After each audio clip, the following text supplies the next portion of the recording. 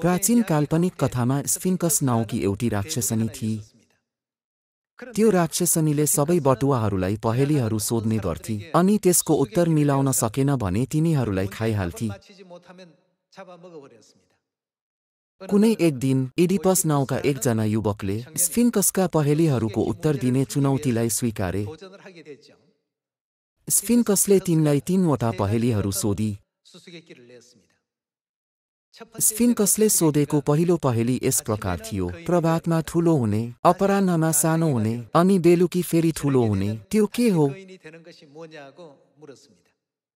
तर इडिपस नाउँका ती युवकले त्यसको उत्तर तुरुन्तै पत्ता लगाए। तिनले छाया भनेर उत्तर दिए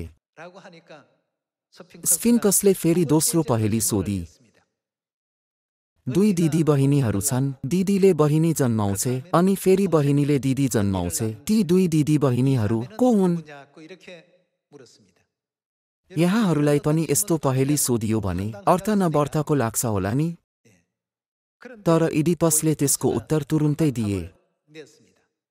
तिनले ती चाहिँ दिन र रात हुन् भने। स्फिन्कस एकदमै निराश भई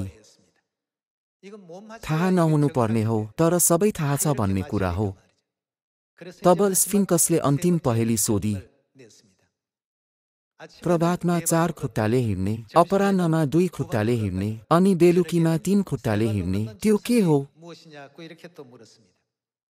यो एक प्रसिद्ध पहेली हो यहाँहरूमध्ये धेरैलाई उत्तर थाहा छ होला त्यसको उत्तर हो मानिस यद्यपि समय धेरै परिवर्तन भएकोले वर्तमान समयमा यस्ता पहेलीहरू सोध्नु समस्याजनक हुन पनि सक्छ।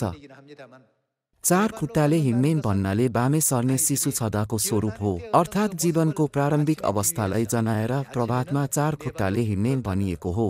अपराह्नमा चाहिँ नि त मानिसहरू युवावस्थामा दुई खुट्टाले हिँड्ने कुरालाई जनाएको होइन र उमेर ढल्कदै जाँदा मानिसहरू लट्ठीको सहारामा हिँड्ने भएकाले बुढेसकालको समयलाई जनाएर बेलुकी तीन खुट्टाले हिँड्ने भनिएको हो। यद्यपि इडिपसले त्यसको सही उत्तर दिए। होइन यो त मानिसले मिलाउनै नसक्ने पहेलीहरू हुन् भन्दै पीडाले मडारिएर स्फिङ्कस समुद्रमा हाम फालेर मरी।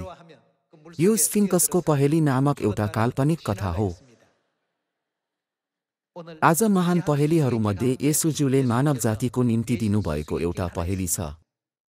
मत्ती अध्याय सोह्रको पद तेह्रको वचनसँगै हेरौँ। येसु कैसरिया फिलिप्पीको मुलुकमा आउनु भएपछि उहाँले आफ्ना चेलाहरूलाई सोध्नुभयो मानिसहरूले मानिसको पुत्रलाई को हो भनी भन्छन्? यो साँच्चै महान पहेली हो। पद चौधमा पनि हेरौँ। तिमीहरूले जवाफ दिए कसैले बत्तिसमा दिने युहन्ना कसैले एलिया र कसैले एर्मिया वा अगमवक्ताहरूमध्ये कुनै एकजना हुन् भनी भन्छन्। उहाँले तिनीहरूलाई सोध्नुभयो तिमीहरू के भन्छौ? म को हुँ? सिमोन पत्रुसले जवाफ दिए तपाईँ ख्रिस्ट हुनुहुन्छ जीवित परमेश्वरको पुत्र। पत्रुसले यसरी जवाफ दिए के यो नै सही उत्तर होइन र?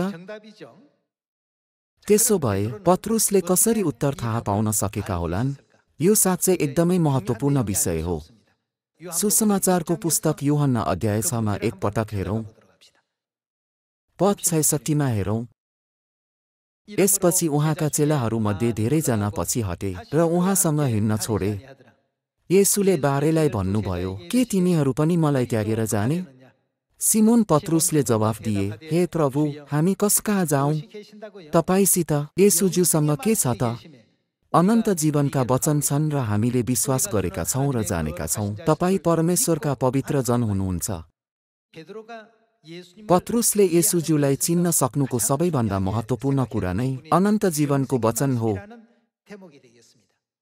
येसुज्यूसँग अनन्त जीवनको वचन थियो भन्ने कुरा पत्रुसले कसरी थाहा पाएका होलान्?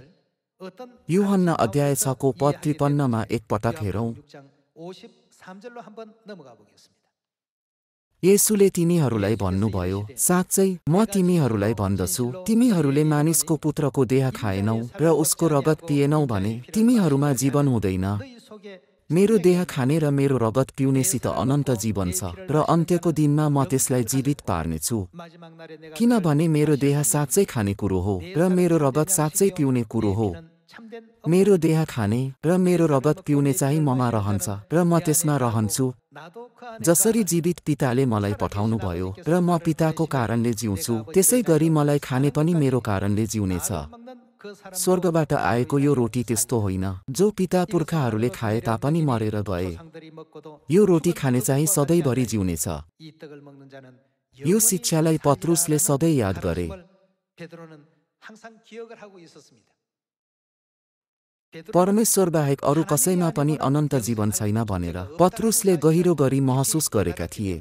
यसै कारण येसु ख्रिस्ट शरीर धारण गरेर यस पृथ्वीमा आउनु भए तापनि उहाँ परमेश्वर हुनुहुन्छ भनेर तिनले सही तरिकाले चिन्न सके। यसरी दुई हजार वर्ष अघि येसुज्यूले मानव जातिलाई दिनुभएको महान पहेलीको उत्तर तिनले दिन सके।